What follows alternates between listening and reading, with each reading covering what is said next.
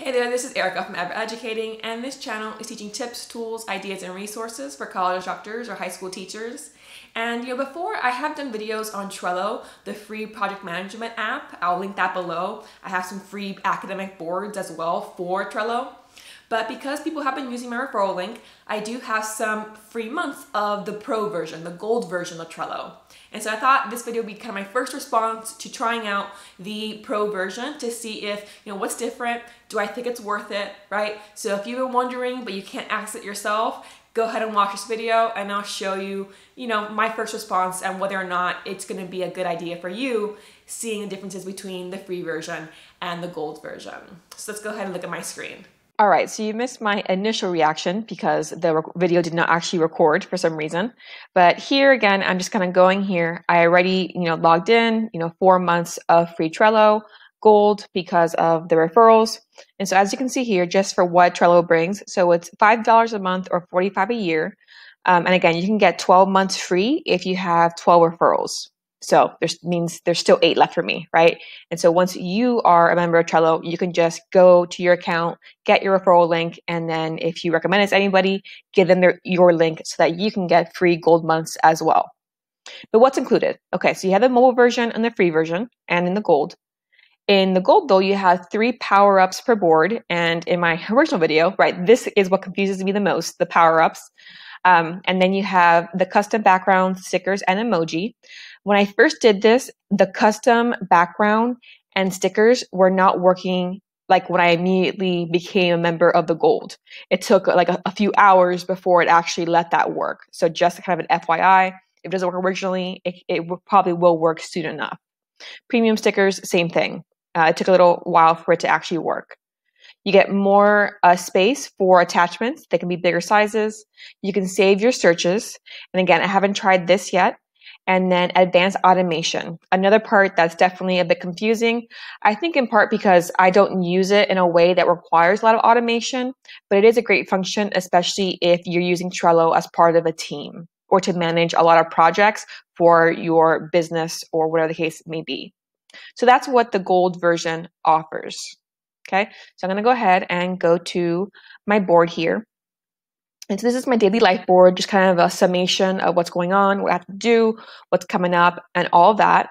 Uh, and so in this case, as you can see, I do have some stickers, right, that were not in the, the free version. So if you go to show menu here on the right, you can go ahead and click stickers and you see them right here. Okay, so you do have all the ones that comes with. And you can also create your own custom stickers if you want to using images you create. Okay, so that's pretty cool. But that's that. You can also search, right? So maybe you're working on a project that you're writing, so you can just search for writing and see what pops up. And if something kind of interests you, you can go ahead and click and drag it onto the card. Right? So that is a pretty neat feature. If you're someone who really likes making your, your planner look pretty, right? You can kind of do that option here with these stickers and these gifts. Okay, so that's one thing. You can also do the custom background. Um, and so you can change background, click custom here, and again, choose an image from your computer. This is an image that I took of flowers um, in a backyard. So you can decide, I like the ones that are, are accessible through Trello itself. That is another feature of the gold version, that change background right here. You can also search your cards, right? If you want to, you can label them, right? Search by labels. I haven't labeled anything here yet, but that's an option there as well. Um, again, the power ups are a gold feature. You can have three power ups per uh, board. You can get a limited, right? If you want to do the business version, but I don't need that. So one power up that I did use because it works on the desktop as well as the iPad is a calendar power up. So if I click on here, and I say view power up, it'll tell you exactly what this does, right? So it basically gives you a calendar view of your tasks that have assigned days, right? So that is one thing that you can decide to do is to do this calendar version. And so you see that right up here. So I can say calendar pop up, power up, and now it's in calendar view. You can see things that have been done already, things that have not been done. And again, you can kind of scroll down and see it as a calendar rather than as the different list. And you can do this by week or by month, depending on what you prefer. Okay, so that it is, I think, a really helpful power up to use um, to kind of get that that more common view of what your schedule looks like versus having it sideways in this way. Now, another thing that I noticed, if I do go ahead and add power up here, so there's a lot of these, but when I was actually kind of searching through them, again, a lot of them are like creating charts or like doing management of, of teamwork, which is not what I use Trello for. So I didn't want to bother trying those because I am limited to three. But there's also this element of you want to make sure that when you click on them, it tells you obviously what it does. If you click, it shows you, you know, all these different things.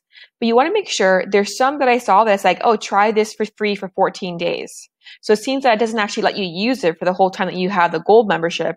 It, it at least for that one, it was like, well, here's a 14 day trial. So I, I wouldn't actually pick one of these that isn't actually going to work through the whole time that I'm using the gold version. Okay. So it is helpful that does have information on each of the ones that you might want to use though not all of them are available on the mobile version. So if you look at the mobile version, it tells you what power ups are available. Um, if you use mobile the most, then you obviously want to rely on those. But the one on the desktop does have a lot more options. Okay, so again, I showed you the calendar one. There's a lot here.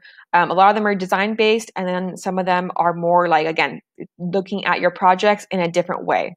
So I do think this is something you have to kind of take your time with and kind of click through and see which three do you really want to use for your board power up because there are quite a bit of options, including actually just adding your Google Drive, right? Accessing it directly. This can be really helpful for an academic. So perhaps that one would be one because obviously Google Drive you can just access for free. So it's not going to be a trial in that case. But it's just definitely something that you of just read through and see which one works for you. If you use Slack a lot for your work, then obviously that's a great one as well. The other main thing that Gold gives you is Butler. So you can find it up here. You can also find it here. And basically, what Butler does is it creates automations, or you can create automations for your different boards. And so let's get rid of the menu here. It gives you some tips and it bases off of what you're usually doing with different cards. Like here, you generated a day ago based off of the actions I performed in the last two days. Uh, but what you do here is you can go to rules, right? And you can create a rule for what happens to the cards on your board, right? So it gives you some examples here. When a card is created in the list to do, add the steps checklist, right? And so you can kind of have this sense of, okay, well, if I have a certain task that I do over and over again and it involves the same steps, then what you can do is you can create that checklist and then create this automation. Anytime I add a card to the board called video creation, have the checklist attached to each new card, right? So every card is a video idea, then you have a checklist automatically versus having to type it over and over and over again. Okay, so this kind of gives you a sense of some ideas, and then you just click create rule, and then you start from the beginning. Okay, so what do you want to do? You're going to add a trigger, right? So are you moving a card? Are you seeing a card changes somehow? Are you doing something that has to do with dates, checklists, right? And so on and so forth. So maybe you're going to do a checklist right? Um, so when checklist and you have a certain checklist you create is added to a certain card by me, right? So when checklist and then the checklist is called video creation is added to a card by me. So I want to add that trigger. Okay, what are we doing? Right?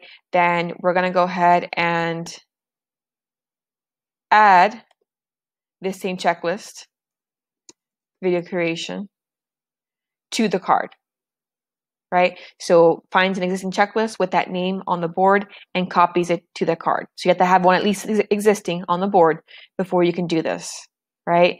And so you can select a specific course, uh, source code by clicking on the bullseye option and entering the card's name or link, right? So you have some options here for how to find that checklist.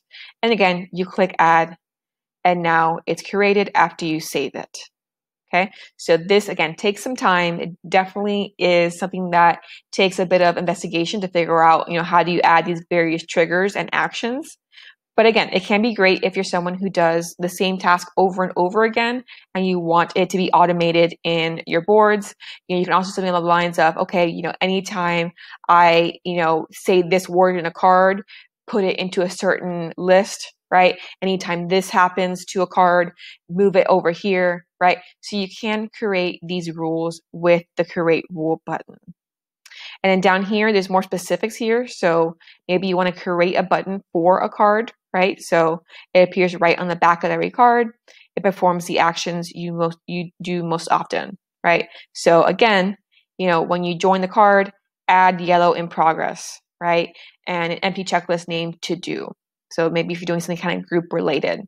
Okay. Uh, when you move the card to list done and remove the card's due date when you use this button, right? And so again, you have create button and what exactly is it doing?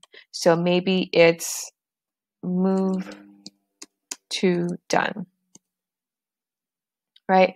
Uh, so you can do go ahead and do that and then say add an action. You can change the icon image to whatever it is that you want. So maybe I'm going to do a little check because it's done, right? And so you have this element here. So we're moving, right? Move the card to the top of done, right? So I add that. Okay. And now, yes, that's what I want this button to do. Go ahead and save it. Okay. And it sees that it's been saved. So are you going to enable it on all the boards in this team? Are you going to share it with the team? I don't need to because I'm not doing anything team related. We're going to end this here, right? And so now when I click on a certain card, I have down here, move to done. And so I click that and it will move it. Exit out. And as you see, it moved to the done. Right, so it does have this element that may be slightly easier. You know, I think just moving it, right, makes it is very easy. But if you like just click a card and have it moved, right, then maybe that's something that you can do faster. So that's an option for adding the card buttons to uh, your boards. There's also board buttons. So have something happen to your whole board can also be part of this uh, Butler automation. You can do things tied to the calendar, okay? Or you can do things tied to the due date.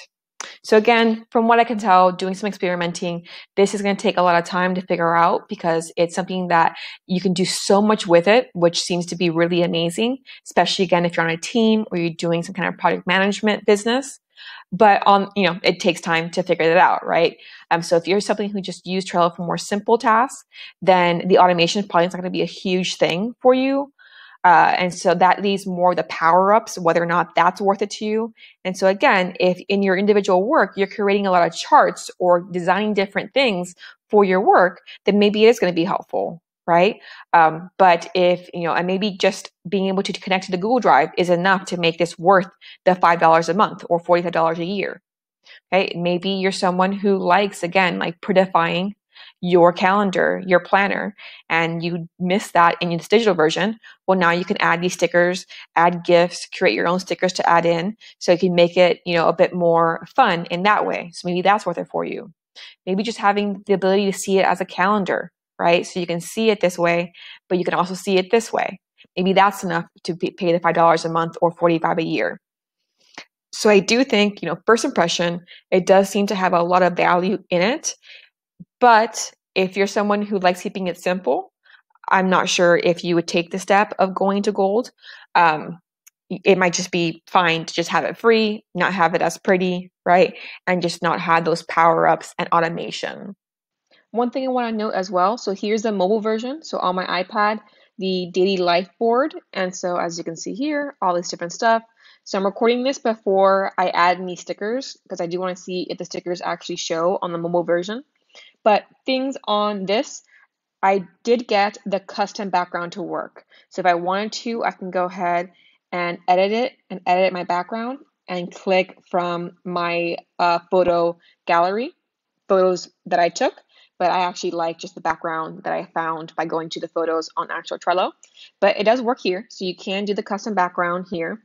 As well, in this menu, you can do power-ups, but it does limit the power-ups that you, you can have. So I guess it seems that only these are the ones that work on mobile. So I did turn on the calendar power-up one.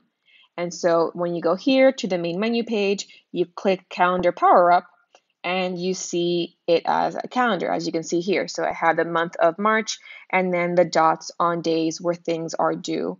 and you can see those listed here as well. All right, so it does seem that once you add the stickers and such on the desktop, it does show on the mobile version as well. So I'd be curious to hear your thoughts, uh, but that's kind of my my review is amazing things available. And so if you need a complex Trello situation, definitely worth it. But if you're someone who likes keeping it simple, then other than prettifying it, adding the goal just makes it you have more tools that makes it a more complex system. So perhaps it would not be for you because it'd be too overwhelming to actually use. Are you going to try the gold or are you happy with the free version? I'd be curious to see.